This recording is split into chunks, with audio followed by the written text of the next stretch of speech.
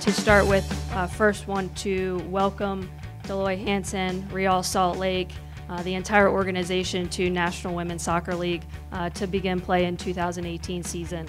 We're going to build a community-based soccer movement that our businesses will be behind, the teams, the colleges, the clubs. This isn't about Real, this isn't about me, this is about our community.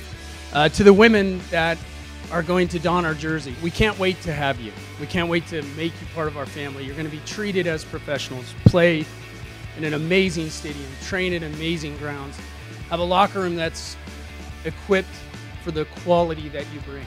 We're swinging for the fences and we're going to be looking to make some very aggressive moves to bring the, bring the best talent, both international and domestic, into this team. Well, the number one thing is to quickly establish ourselves as a destination, you know, and make sure that every professional women's player wants to be here and wants to come see what this is about and, and then make sure that we take care of, of the initial team and the women coming in. With Rio Tinto Stadium, a venue that's uh, state of the art, one of the best in the United States.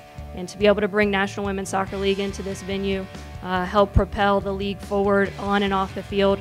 I honestly believe we'll fill this stadium as easily with you as we do with the men's soccer team. I absolutely believe that. We have no doubt that there's going to be a lot of success uh, here in Sandy and with this organization as you bring women's professional soccer to uh, to the city and to the state. We couldn't be more excited to have RSL part of NWSL going forward.